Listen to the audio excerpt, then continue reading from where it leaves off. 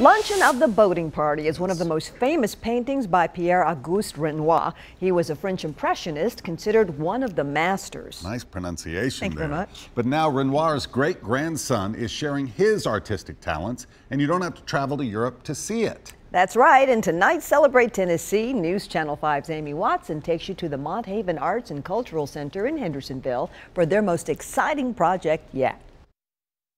My name is Alexander Renoir. I'm the great grandson of Pierre Auguste Renoir. And he gratefully carries the weight of his inheritance. Someone once said, Well, your work is very nice, but your great grandfather is a master. And I came up with a good answer. Yes, yes, he's a master, and it took him 79 years in which to get there.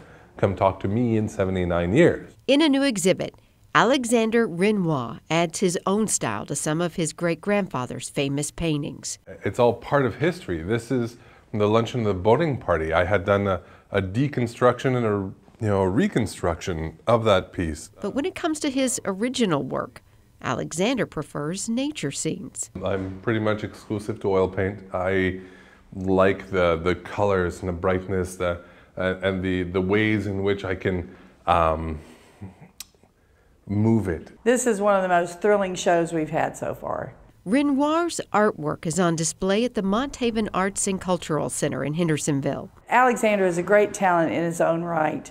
And again, the history of it all is just so wonderful. It's such a great gift here for Sumner County.